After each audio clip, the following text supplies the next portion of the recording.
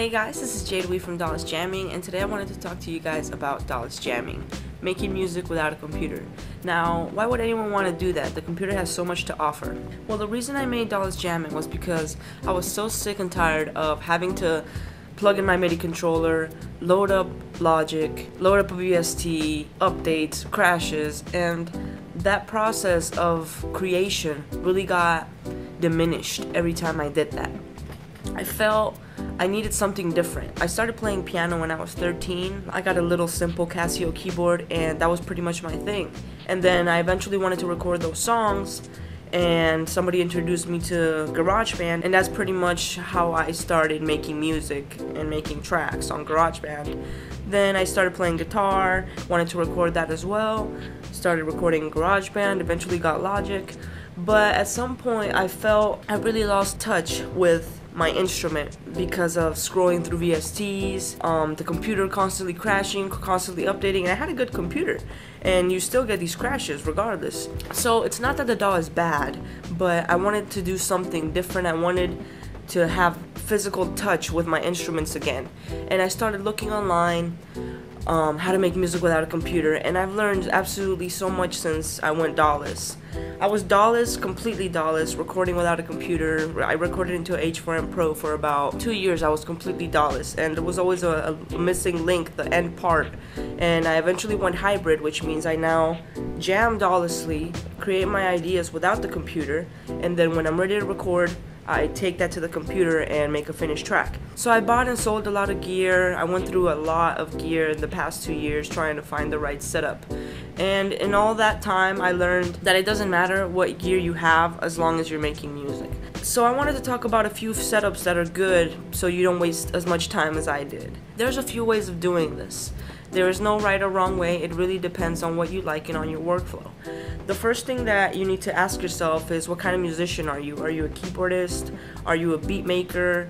Are you a singer? I mean, DAWless is anything. There is no rules to DAWless. It's not just electronic music. I feel I've made a lot of electronic music lately because of my instruments and the instruments that I've had, but I really want to get back to making reggae and chill beats and things like that. So once you figure out what's important to you, you can start looking at gear. If you're a keyboardist, sorry, I got a cold. If you're a keyboardist and you don't have a synthesizer, I highly recommend getting a synthesizer as your first piece of gear. Why? Because if you're used to loading a VST and scrolling through presets and messing with the mouse, trying to twist the knobs with the mouse, you're gonna appreciate that sense of touch with the synthesizer and that's really gonna get you to play back keys. If you're a beat maker, I highly recommend that you get yourself a groove box, something like the Novation Circuit um, to start, you know, on the cheaper levels. The Electribe or the Electribe sampler. If you're in a, if you have a higher budget, something like an Elektron Analog 4 or an Elektron Analog Rytm, that's also a synthesizer. It's not just a drum machine.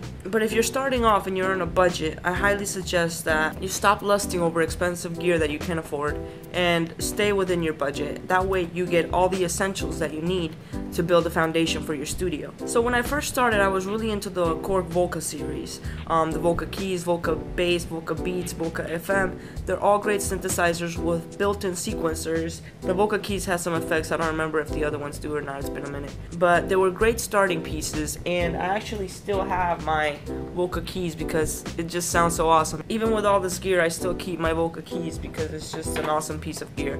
I miss them, but I eventually sold them so I could afford other things. But it's a really great starting point if you want that analog sound, if you want a built-in sequencer, you just get those and a mixer and you're set. Something else to look at is the Roland Boutique series. The um, Juno 06, the Ju 06, the JP08, the JX03, I think that's what it's called. Um, there are these little synthesizers, I believe there are four voices if I'm not mistaken, and they're just desktop synths. You can um, buy the little keyboard, optional keyboard tray, but that's if you're into mini keys, which I do not like. You can also eventually down the line get yourself a hardware sequencer and control those little desktop synths. So once you have a hardware sequencer, which is a brain pretty much that controls all your gear, you're only just gonna need one MIDI keyboard to control all of them. And that's a fun setup to have, a main sequencer with a bunch of little modules. That's a great setup to have for a DAWless jammer. So I know you probably have a lot of questions. What's MIDI in, out, through, aux, the type of cables that I need to use. I made a video about that for Ask Audio. I'm gonna put the link below so you can check that out. But basically, you're gonna wanna get yourself a MIDI through box. These things are like 40, 45 bucks and it's gonna make your life a whole lot easier once you have more than one piece of gear because it'll let you choose a piece as your main piece and then that piece will control and send clock to all your other gear as well. I normally used it when I have my Octatrack, I'm waiting on my new one. Octatrack was my main clock and then I used the through box for that and I send clock and I sequenced all my other gear with that box. So I highly recommend making that purchase because at some point in the chain connecting MIDI out MIDI in the clock is gonna start lagging and that's a great solution for that. So when I first went on my journey my main thing was I want to get inspired again. I want to get back to making music. I don't just want to record. I don't just find I don't want to find a new way to record. I want to find a new way to create, to start the process of creation, to get inspired.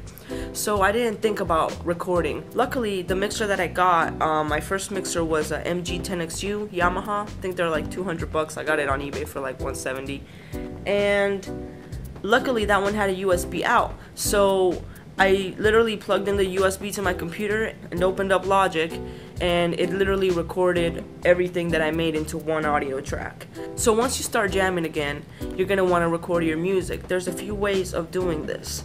Um, I fought against getting an interface for the longest time. I wanted to keep it 100% DAWless, 100% legit it really became like a religious thing being DAWless but there is no reason not to embrace technology and not to take advantage of what the computer can do for us, especially in the sense of recording. I now use the computer as a glorified audio recorder and it's amazing at that. So if you already have an interface, keep your interface.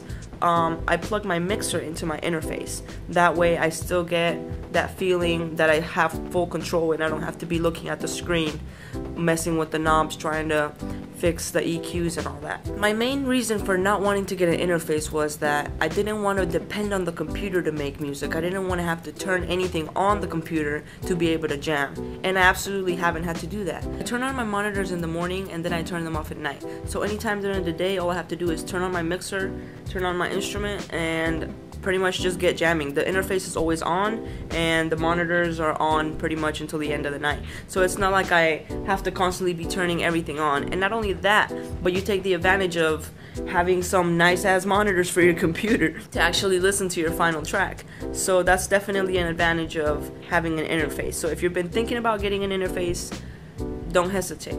Also, I really want to say you don't necessarily need the DAW to make music. If you've been doing it a certain way for 10, 20 years on an 8 track recorder or whatever, you don't have to go to the DAW to make a finished track. But that's the way I started, and I feel it really works with my setup.